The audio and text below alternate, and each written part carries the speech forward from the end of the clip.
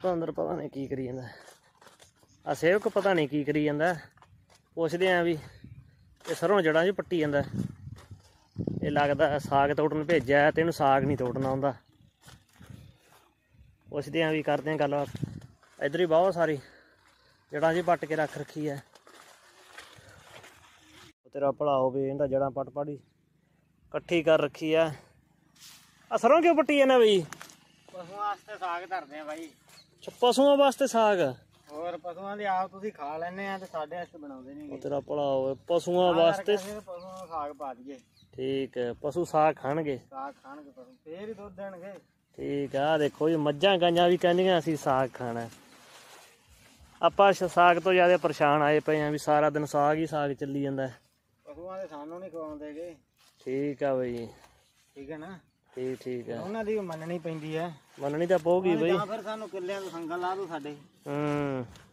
ਅਸੀਂ ਆਪੇ ਖਾ ਆਉਣਾ ਕਹਿੰਦੇ ਚੱਲ ਤੁਸੀਂ ਤੁਹਾਨੂੰ ਪੱਟ ਕੇ ਲਿਆ ਦਿੰਨੇ ਆ। ਠੀਕ ਹੈ ਇਹਨੂੰ ਫਿਰ ਕੱਟ ਕੇ ਤੇ ਕੁਤਰ ਕੇ ਬਣਾ ਕੇ ਪਾਉਂਗੇ ਕਿ? ਬਣਾ ਕੇ ਪਾਵਾਂਗੇ ਬਣਾ ਕੇ।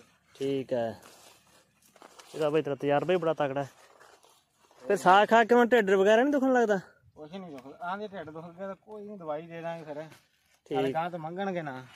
ਠੀਕ ਹੈ ਐਂ ਤਾਂ ਨਾ ਆਖਣਗੇ ਸਾਨੂੰ ਸਾਗ ਨਹੀਂ ਪਾਇਆ ਹੈਗਾ। ਠੀਕ ਹੈ ਆਹ ਦੇਖੋ ਵੀ ਬੰਦਿਆਂ ਵਾਸਤੇ ਹੋ ਜੂਗੀ। ਹੈ? ਨਾਲੇ ਸਰੋਂ ਬਿਰਲੀ ਹੋ ਜੂਗੀ। ਠੀਕ ਹੈ ਬੰਦਿਆਂ ਵਾਸਤੇ ਵੀ ਤੇ ਪਸ਼ੂਆਂ ਵਾਸਤੇ ਵੀ ਸਾਗ ਚੱਲਦਾ। ਦੇਖੋ ਵੀ ਨਜ਼ਾਰਾ ਰਾਜਸਥਾਨ ਦੇ ਵਿੱਚ ਤੋੜੀਏ ਦੇ ਖੇਤਾਂ ਦਾ। ਆਹ ਦੇਖੋ ਇਹ ਪਸ਼ੂਆਂ ਵਾਸਤੇ ਚਾਰਾ ਪੱਟ ਰਹੇ ਆ। ਵੈਸੇ ਮਜ਼ਾਕ ਕਰ ਰਹੇ ਸੀਗੇ। ਵੀ ਪਸ਼ੂਆਂ ਵਾਸਤੇ ਸਾਗ ਲੈ ਕੇ ਜਾ ਰਹੇ ਆ। ਇਹ ਸਰੋਂ ਸੰਘਣੀ ਜ਼ਿਆਦੇ ਆ ਵੀ ਜ਼ਿਆਦੇ ਪੈ ਗਿਆ। ਹੁਣ ਇਹਨੂੰ ਪੱਟ ਕੇ ਬਿਰਲੀ ਕਰਦੇ ਆ ਤੇ ਨਾਲੇ ਪਸ਼ੂਆਂ ਦੇ ਵਾਸਤੇ ਚਾਰਾ ਬਣ ਜੂਗਾ। ਇਹ ਬੀਜ ਕਿਹੜਾ ਸੇਵਕ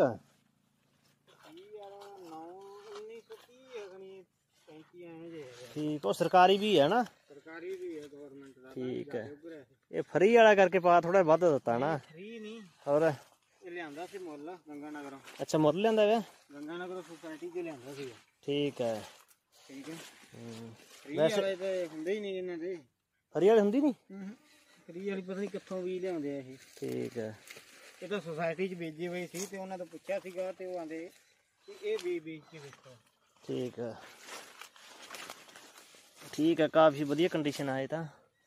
ਬਾਕੀ ਆਪਾਂ ਅੱਗੇ ਵੀ ਵੀਡੀਓ ਬਣਾ ਕੇ ਪਾਵਾਂਗੇ ਇਸ ਦੀ।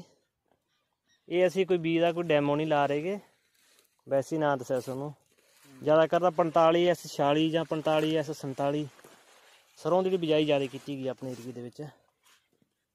46 ਜੱਜ ਬੀਜੀ ਆ ਹੂੰ 45 46 ਬਾਕੀ ਜਿਹੜੇ ਪਾ ਜੱਟ ਲੱਗ ਗਏ ਨੇ ਫਿਰ ਚਰੜ ਪੁੰਡੀਆਂ ਕੱਢ ਹੀ ਦਿੰਦੇ ਆ। ਹੂੰ ਹੂੰ। ਵੀ ਸਾਰੇ ਕਿਸਾਨ ਇੱਕ ਵੀ ਪਿੱਛੇ ਨਾ ਪੋ ਸਾਰੇ ਵੀ ਥੋੜੇ ਥੋੜੇ ਬੀਜਣੇ ਚਾਹੀਦੇ ਆਪਾਂ ਨੂੰ।